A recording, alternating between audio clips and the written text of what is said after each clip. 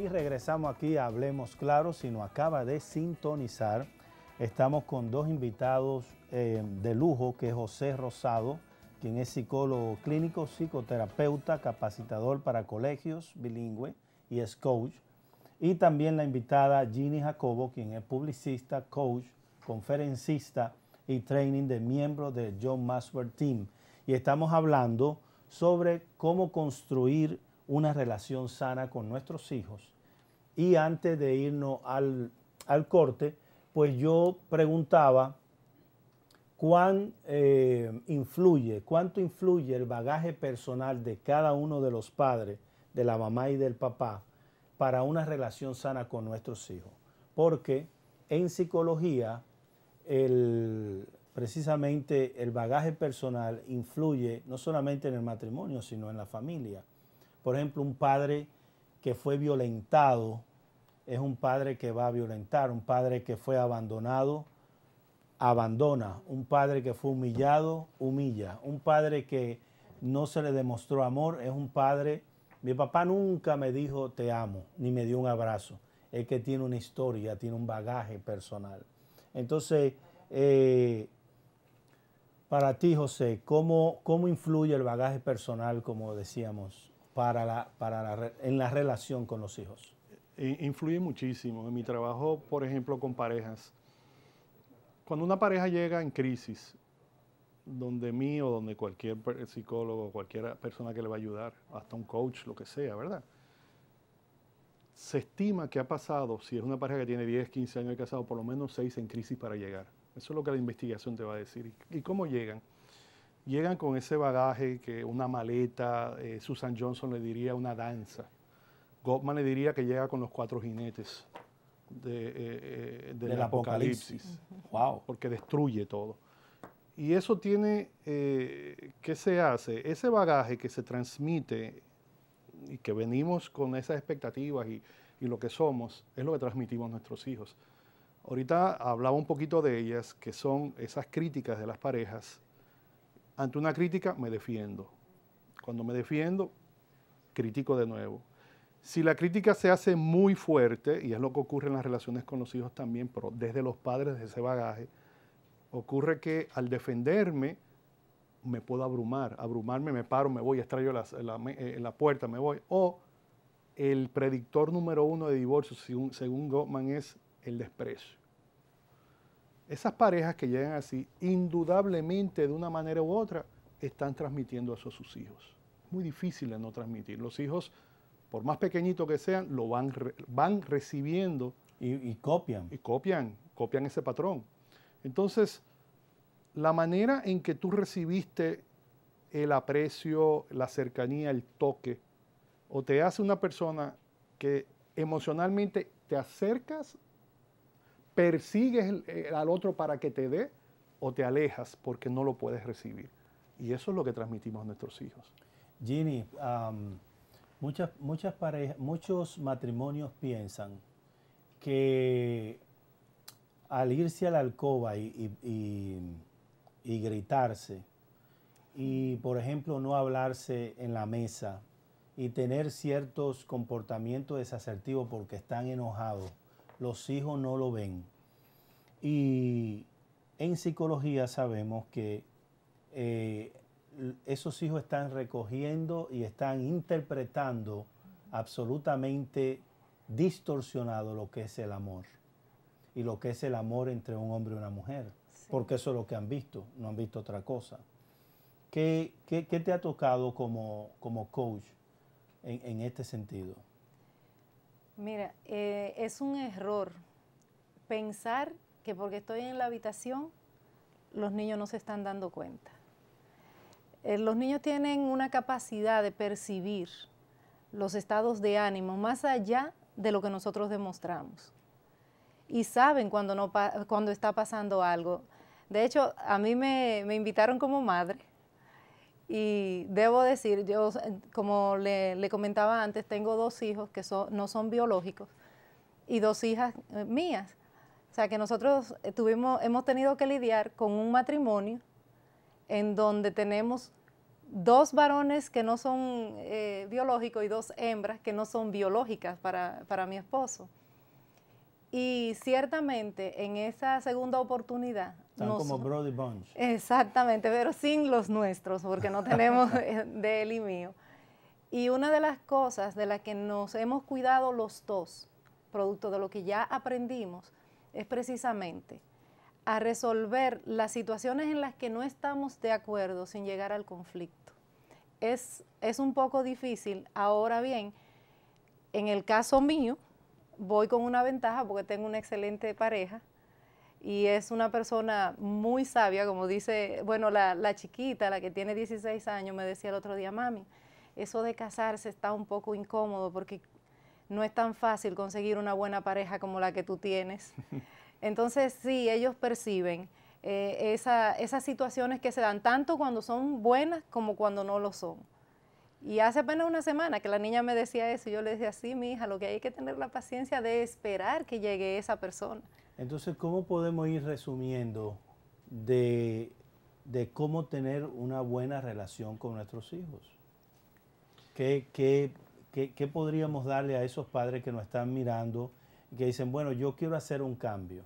Porque yo, yo lo que le diría a esos padres es, hacer un examen de conciencia de ambos, orar al Espíritu Santo y pedirle que el Espíritu Santo les revele en el corazón qué, qué es lo que no está funcionando en la relación con nuestros hijos, que puede ser el reflejo de la misma relación de ellos. Entonces, vaya donde un, donde un psicoterapeuta a arreglar su problema. Pero, como estamos hablando con la relación de los hijos, ¿cómo podemos ir eh, aterrizando de una buena relación con nuestros hijos?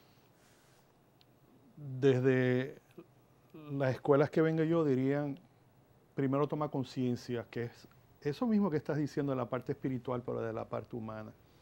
Tengo que tomar conciencia de mi realidad, lo que estoy haciendo. Tomar conciencia eh, es lo que mi esposa diría constantemente. José, todo lo que hagamos con nuestros hijos, hagámoslo a conciencia. Siempre a conciencia. Ahora bien, hay personas que no tienen esa conciencia creadas, no se dan cuenta.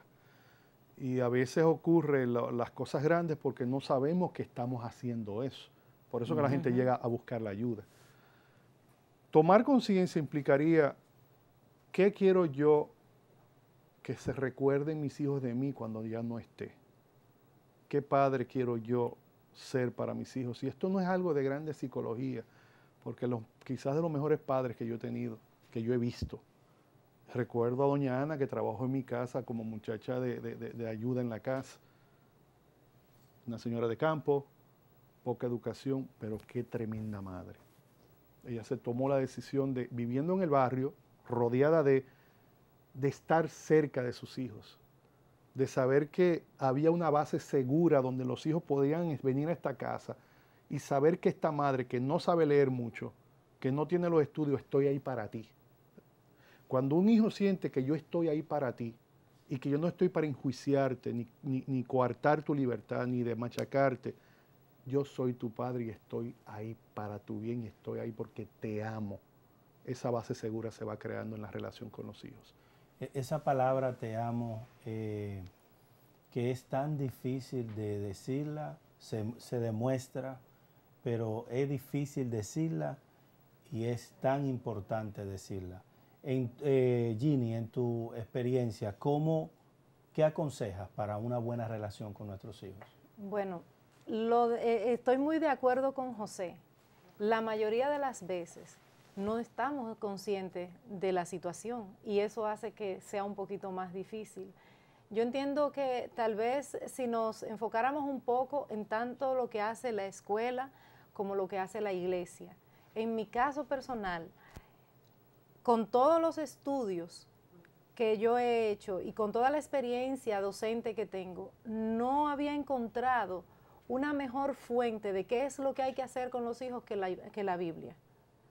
Eh, hace eh, un año y algo que decidí hacer un estudio de la Biblia ya más consciente y guiado con una persona, con un mentor, y me he encontrado con que está clarísimo lo que hay que hacer.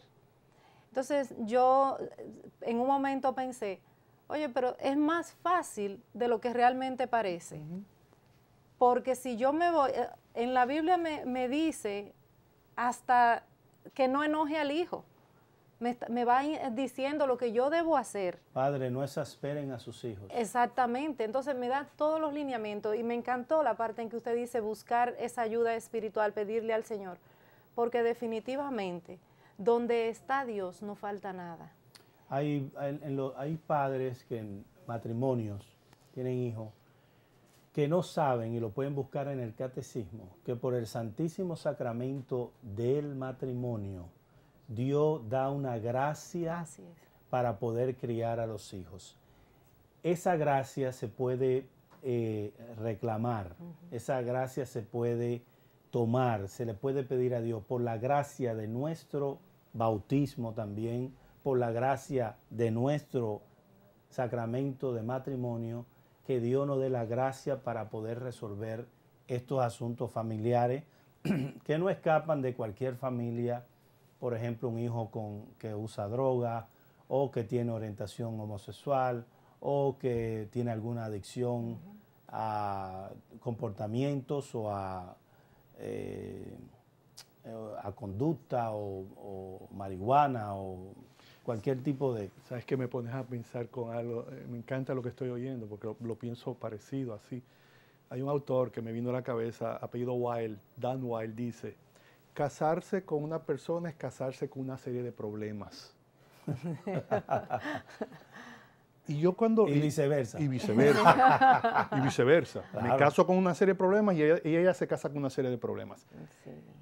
Cuando veo el matrimonio como sacramento, pero viéndolo para llegar a sacramento, vocación, un llamado que me hace el Dios de la vida, donde hay una alianza, donde hay un clamor del pueblo que escucha a ese Dios y que baja y está conmigo y se convierte en ese signo visible, yo me voy haciendo perfectible sin llegar a la perfección. Porque voy aprendiendo a llevar los conflictos que tienen, que pueden ser solubles, porque en el matrimonio hay dos tipos de conflictos, los que tienen solución y los que no, lo tienen. Ahora, los que no lo tienen lo puedo manejar.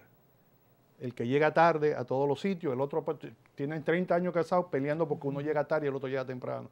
Es un problema no soluble. Uno que gasta el dinero, el otro que no, que le gusta que un agarrado. es un problema no soluble, pero es manejable. Entonces, cuando oigo a Dan Wilde decir eso, es yo aprender a manejar eso. Y cuando yo lo hago, como dice Jean, mis hijos lo van viendo, cómo yo manejo mis conflictos, cómo yo manejo mis emociones. Volvemos al punto, es que el bagaje personal de cada uno es muy importante. Es eh, y cómo vamos a resolucionar eso. Por ejemplo, cuando a mí me llega una madre que me dice, mi hija tiene problemas, digo, no, su hija no tiene ningún tipo de problema. Usted es la que tiene... ¿Cómo? Digo, usted es la que tiene problemas y mucho. Con usted que tenemos que hacer terapia. Porque los hijos nacen como, con una hoja en blanco y la vamos llenando nosotros los padres. Y los primeros que hieren a sus hijos son los padres desde el vientre. Así es desde el vientre, o no lo quiero, o quiero una niña, y me dijeron ahora que es niño, etcétera. Entonces hay que tener eh, mucho cuidado porque los padres somos los primeros que herimos a nuestros hijos y tener conciencia de eso. No es tarea fácil eh, tener esa conciencia, y, ah. pero se puede lograr. Incluso en el momento en que el padre se da cuenta de que se excedió, es un, es un buen momento para hacerle saber al hijo que su proceder no fue. Yo, yo no entiendo por qué, por qué a los padres, incluyéndome a mí, se le hace tan difícil reconocerle a los hijos que cometen un error y que no son Superman como ellos creían. Ese mito hay que acabarlo. Eso hay que acabarlo, definitivamente humanizar el proceso de ser padre.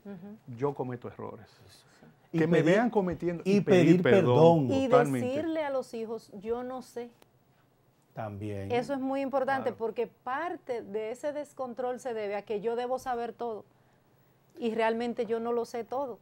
Bueno, señores, el, el tema se está poniendo ahora caliente. Ahora es que vamos a ver cómo influyen los factores y qué podemos hacer, porque ya hemos planteado el problema, y em, cómo podemos reconocer si tenemos una familia disfuncional y qué podemos hacer. Eso lo vamos a ver en la próxima sesión. Nos vamos a un corte y regresamos.